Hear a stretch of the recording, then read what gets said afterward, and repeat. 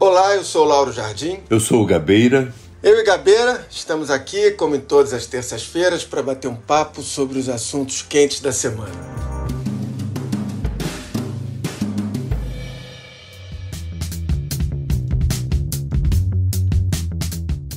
No nosso cardápio de hoje temos dois temas. O primeiro é o fim da Lava Jato, foi consumado na semana passada, quando a PGR extinguiu de fato a Força Tarefa de Curitiba, depois de quase sete anos. Mas nós temos um bom rescaldo da operação pela frente, como o julgamento da suspeição do Sérgio Moro nos processos do Lula. E também vamos falar da Covid, das novas variantes do coronavírus. Ninguém ainda tem certezas de que as vacinas existentes têm a mesma eficácia com essas novas variantes e o Brasil está atrasado nas testagens dessas novas cepas. Gabeira, vamos começar falando da Lava Jato? Vamos. O Bolsonaro e o establishment, de um modo geral, conseguiram, né? deram fim à Lava Jato, que, na minha opinião, ela caiu não só pelos acertos dela, mas também caiu atropelada pelas práticas diferentes das que se devia esperar da justiça e dos agentes públicos. O que também me parece claro, quer dizer, não dá para passar a mão na cabeça do Moro e dos procuradores, aquelas mensagens que a Vaza Jato revelou, mostram sim que tinha ali um excesso de intimidade e de combinação entre as partes, mas também, como não era tolerável, o grau de corrupção que a própria Lava Jato descobriu entre políticos e as empresas nos últimos 20 anos. Foram 79 fases comandadas pela Força Tarefa do Paraná. As investigações geraram 278 condenações por crimes como corrupção e lavagem de dinheiro, num total de 2.611 anos de pena. Segundo o MPF, 17 acordos de leniência foram fechados e mais de 4 bilhões de reais desviados no esquema voltaram aos cofres públicos. Perfeito, é mais ou menos consensual isso, né? Primeiro, de que havia um alto nível de corrupção, tanto no Brasil como na América Latina, que a Lava Jato conseguiu, pelo menos na América do Sul, né, conseguiu levantar, e também que houve erros da Lava Jato que acabaram contribuindo para que ela terminasse. Mas ela fez alguma coisa mais do que as outras que quase que morreram no nascedouro, né? As outras grandes operações que o Brasil tentaria ver ou, ou gostaria de ver num determinado momento morreram no nascedouro por falhas legais. Eu acho que nós podemos começar a ver assim o princípio do fim mesmo da Lava Jato, um momento decisivo que eu acho que marcou o horizonte, né? Foi a decisão do Moro de entrar no governo Bolsonaro. Isso. Parabéns a Lava Jato. Tá? Você, o recado que eu estou dando a vocês é a própria presença é, do Sérgio Moro no Ministério da Justiça com todos os meios, inclusive com o AF, é, para combater a corrupção. Ele pegou o Ministério da Justiça, é integralmente dele o Ministério, sequer influência minha existe em qualquer cargo lá daquele Ministério. E o compromisso que eu tive com ele é carta branca para combate à corrupção e ao crime organizado. Ali é, já é uma decisão que praticamente comprometeu todo o trabalho dele, é? ao decidir entrar no governo Bolsonaro, um governo que derrotou o PT e depois de ter um movimento que de alguma maneira legalmente acabou culminando com a proibição da candidatura do Lula, ele colocou a Lava Jato numa situação muito delicada. O outro aspecto que eu acho que teve um peso, no meu entender, foi a escolha do Augusto Aras pelo presidente da República. Quando o presidente escolheu Augusto Aras fora da lista tríplice, é impossível que eles não tenham discutido também qual seria a estratégia deles em relação ao Lava Jato. O lavajatismo vai passar, mas o enfrentamento à corrupção não mas a correção de rumos não significa a redução do empenho no combate à corrupção. Contrariamente a isso, o que nós temos em, na casa é um pensamento de buscar é, fortalecer a investigação científica e, acima de tudo, visando respeitar direitos e garantias fundamentais. Eu não acho que o Augusto Aras inventou essa estratégia depois de se instalar no cargo e sem consultar o presidente da República. Eu acho que havia entre eles um certo consenso de como tratar a Lava Jato, de como neutralizar a Lava Jato de uma certa maneira. Depois houve um outro baque, aí estou falando ainda no campo institucional, né? Um novo baque quando o Moro, pensando que estava se elegendo para fortalecer a Lava Jato, propôs também que a Receita ficasse sob o controle do Ministério da Justiça. Já está definido que o atual presidente do COAF, Roberto Leonel, deixará o cargo. Leonel é auditor da Receita há mais de 30 anos, foi chefe de inteligência em Curitiba e integrou a Operação Lava Jato. Ele foi indicado pelo ministro Sérgio Moro, quando o COAF ainda fazia parte do Ministério da Justiça, nos primeiros meses do governo. Por quê? Porque a Operação Lava Jato ela se baseou num tripé. O trabalho da Polícia Federal, da Procuradoria-Geral da República e da Receita Federal. Eles eram peças de um mesmo esquema. E quando essa ideia do Moro de manter a Polícia Federal sob o Ministério da Justiça caiu, praticamente foi desmembrado também, é, foi afastada também a possibilidade do, da Receita Federal estar no mesmo esquema de investigação. Pelo contrário, a Receita Federal foi mais neutralizada, foi julgada para o Banco Central. Finalmente, há um problema não institucional do, do campo da política mesmo, que foram os vazamentos das interações entre o Moro e os procuradores. Esses vazamentos tiveram peso no momento que foram denunciados pela Intercept e tiveram um novo peso agora quando o próprio ministro Lewandowski permite que a defesa do Lula os utilize. Ricardo Lewandowski, do Supremo Tribunal Federal, atendeu a um pedido da defesa do ex-presidente Lula para ter acesso a informações da operação spoofing que sejam relacionadas a ele. Essa operação da Polícia Federal aconteceu em julho do ano passado e teve como alvo suspeitos de envolvimento na invasão de celulares do então ministro da Justiça, Sérgio Moro. De um modo geral, a decisão do Lewandowski pode ser aprovada pela segunda turma, porque ele não decidiu se essa, essa prova é legal ou não ainda, entende? Ele decidiu apenas que essa prova pode ser entregue à defesa. É um ponto que eu acho que vai ser acentuado pelos ministros, né?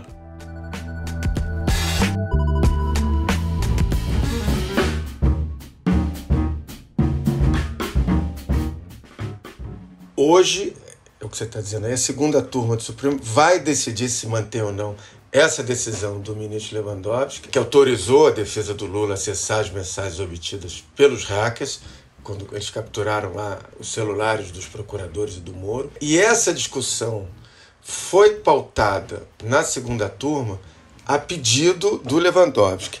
Para o ouvinte entender melhor, a tendência, primeiro, é que vai ser mantida a autorização dada pelo Lewandowski. Parece claro isso, ninguém tem dúvida. Você tem na segunda turma três ministros francamente contra a Lava Jato, que é o Gilmar Mendes, o Lewandowski e o novato, o Cássio Marques, que até agora tem mostrado que tem dono, que é o Bolsonaro, e o Bolsonaro também é anti-Lava Jato. E a segunda turma tem dois ministros que têm votado a favor das decisões da Lava Jato, que é a Carmen Lúcia e o Faquim. Agora, o que, que vai acontecer depois da decisão de hoje, que, como eu disse, tende a ser favorável a manter a autorização dada pelo Lewandowski? Esse material que foi revelado é um material que mostra uma ligação muito intensa entre o juiz e os procuradores.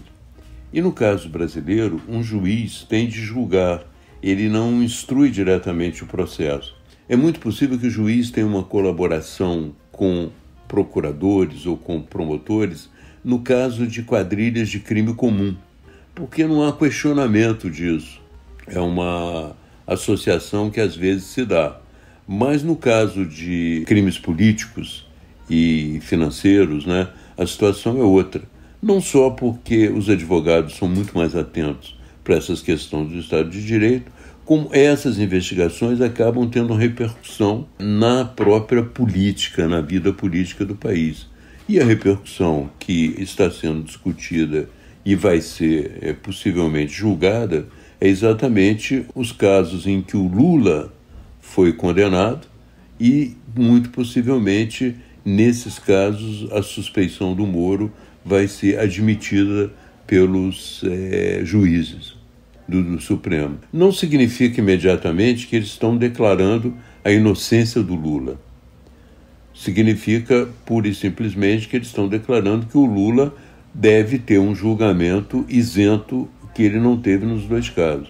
Exato. Depois da, da decisão de hoje, vai ficar aberto o caminho para o Gilmar Mendes pautar a votação da suspeição do Moro, que me parece claro vai ser aceita também, ao menos na segunda turma. Só que o Gilmar ele não vai pautar essa suspeição imediatamente. Ele fala assim para quem pergunta e tal, genericamente, sem especificar, que vai pautar no primeiro semestre ministro Gilmar Mendes, do Supremo, que quer julgar logo aquela ação que questiona a parcialidade do ex-juiz Sérgio Moro no caso do presidente, ex-presidente Lula, né, naquele caso do triplex do Guarujá. Lembrando que o julgamento dessa ação foi interrompido em 2018 por um pedido de vista do próprio Gilmar. Quer dizer, e por que, que ele está falando isso, o porquê essa estratégia. Ele quer desgastar mais ainda o Moro e os procuradores junto à opinião pública, com os vazamentos, porque os vazamentos estão acontecendo de quando em quando. O Gilmar, na verdade, Gabeira, ele está usando o mesmo veneno que a Lava Jato usou, e aí, enfim. Claro, vazamentos. Esse processo de suspeição do Moro está nas mãos do Gilmar desde 2018.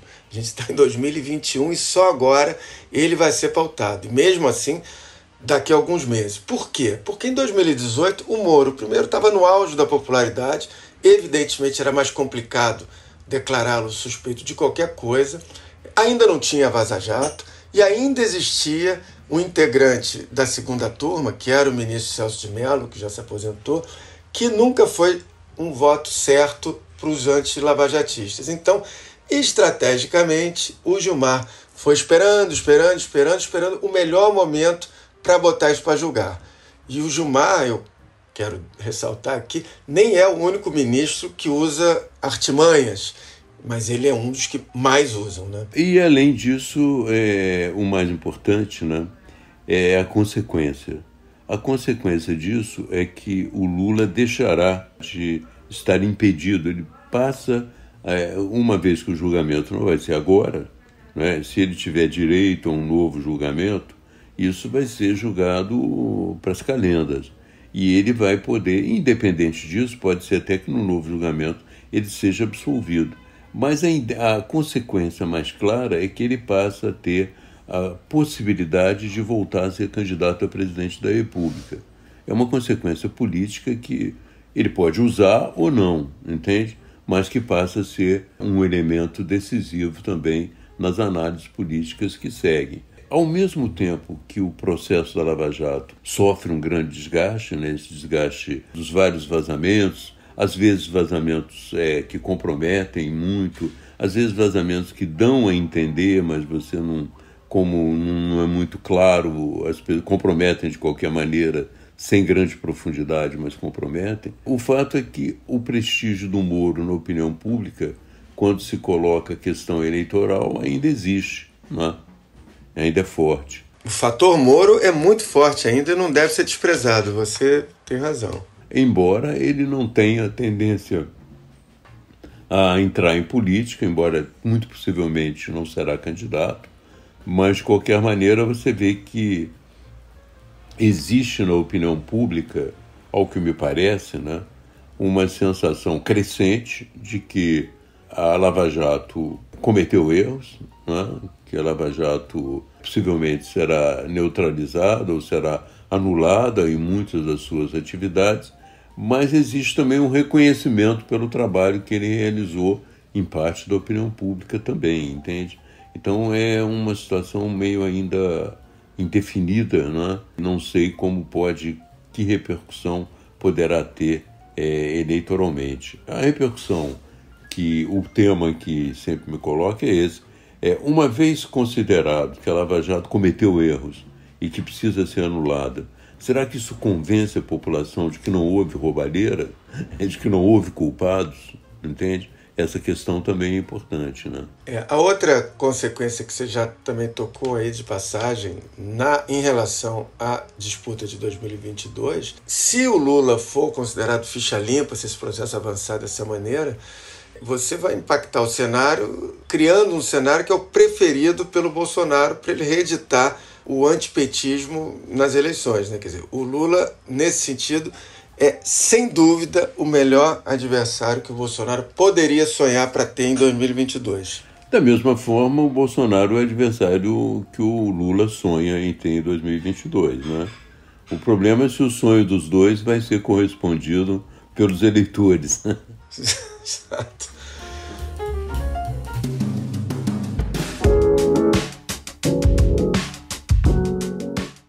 Gabeira, vamos conversar agora sobre a vacinação. Dizer, é um, parece um pesadelo que não tem fim. Agora a gente tem as variantes do coronavírus botando um ponto de interrogação na eficácia das vacinas existentes. Acabou de sair a informação e o alerta foi feito pela Organização Mundial da Saúde que essa variante do Amazonas já está em oito países. Embora, antes de mais nada, é bom dizer que uma das soluções para isso é aumentar a velocidade do processo de imunização da população. O fato é que as variantes elas estão aí, as estratégias agora têm que ser pensadas levando-as em conta, né? É, sobretudo por causa da possibilidade de reinfecção. O que eu não, não vi até agora, acho que ninguém viu até agora, é o Ministério da Saúde tomando a frente desse problema para tentar qualquer solução. É, isso aí é um desespero para mim, né? Porque eu tenho falado disso Desde quando os japoneses é, sequenciaram essa nova variante brasileira e foi confirmada pela Fiocruz na Amazônia, sabe-se que essa nova variante é uma variante que tem que ser levada em conta. Ela deve ter tido um papel muito importante em Manaus, no sentido de que ela aumentou a propagação do vírus em Manaus e possivelmente no norte do país um representante da Fiocruz lá no Amazonas, e o estudo deles diz que já 91% dos casos do Amazonas de coronavírus já são dessa variante, ou seja, ela é predominante. Em primeiro lugar, ao tomar conhecimento dessa nova variante, o Pazuello deveria ter tomado também medidas sanitárias correspondentes a essa tomada de consciência. A primeira dessas medidas sanitárias é estabelecer algum controle sobre o que entrava e saía de Manaus, é? o que entrava e saía do estado de Amazonas. Alguns estados limítrofes, como Roraima, o Pará, tomaram algumas medidas sanitárias mínimas, mas a verdade é a seguinte, que a variante hoje já é muito presente em Manaus, ela já foi encontrada na Alemanha, nos Estados Unidos, no Canadá, entende? E no, em São Paulo, Quer dizer, essa variante ela pode potencialmente se transformar numa variante dominante. Como na Inglaterra, a variante inglesa já está se transformando na variante dominante. Além das medidas importantes que você toma ao conhecer a existência de uma nova variante, você tem que fazer testes para saber se as vacinas são capazes ou não é, de neutralizar essas variantes. Foi feito pela AstraZeneca um teste na Inglaterra e foi revelado no teste da Inglaterra que a variante inglesa é neutralizável pela AstraZeneca. Até aí, tudo bem. Foi realizado um teste na África do Sul e ela se mostrou mais ou menos ineficaz para controlar a variante sul-africana.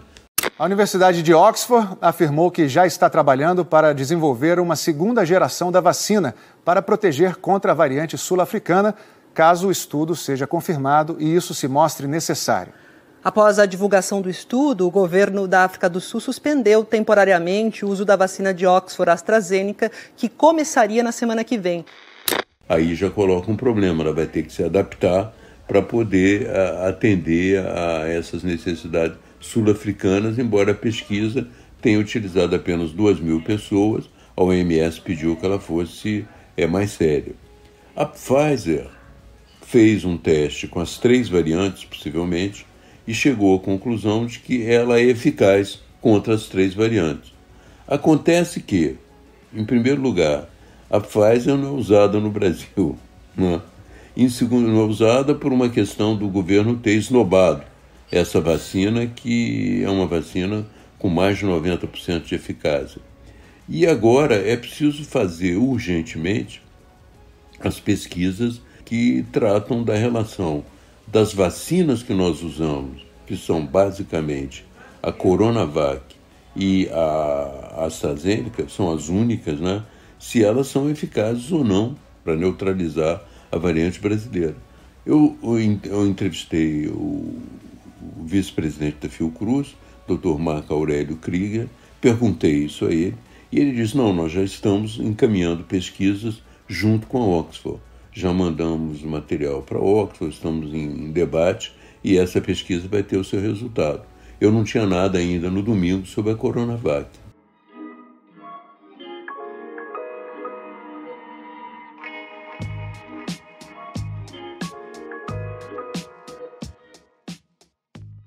Cabeira, e eu tenho agora pelo menos uma boa notícia para dar para os ouvintes.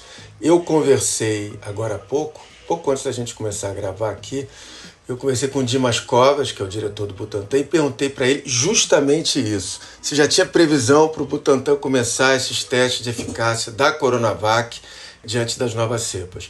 E ele me disse que não só os testes estão sendo já realizados, como os resultados vão ser anunciados ainda nesse mês de fevereiro. Quer dizer, é uma boa notícia, pelo menos no Butantan as coisas estão andando, na Fiocruz também, e como a gente já disse aqui, só não anda no Ministério da Saúde, que está completamente alheio ao problema.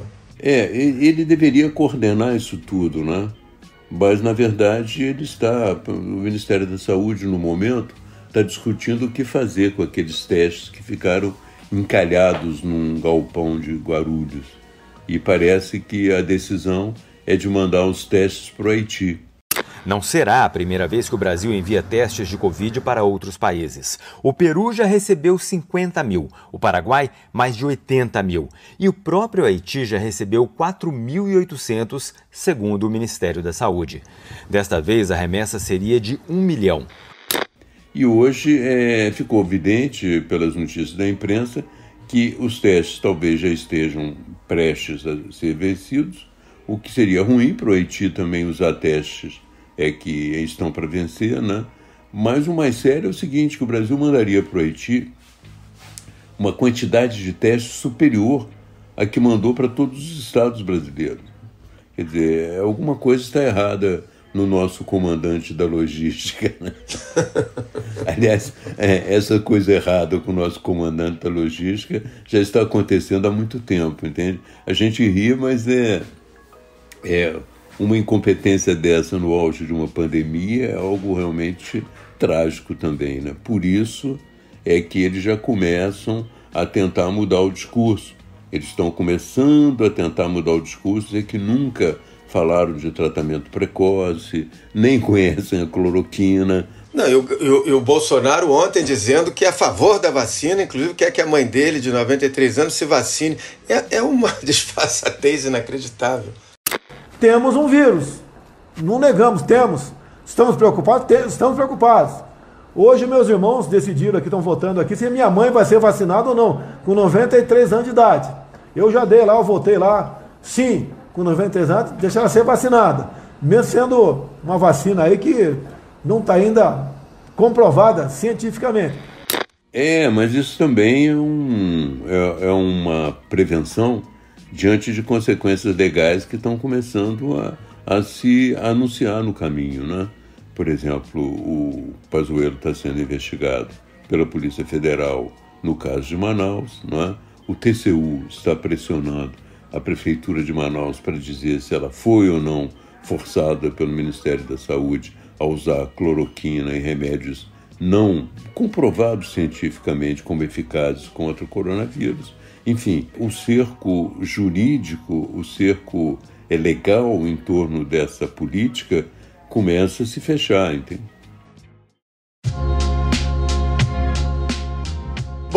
Está terminando o Lauro Gabeira de hoje. A gente fica por aqui. O Lauro Gabeira está disponível a partir das 5 e meia da tarde, das terças-feiras, no site do Globo, no Spotify, no iTunes ou na sua plataforma preferida de podcast. E também pode ser ouvido nas noites de terças-feiras, às 10 e meia, na CBN.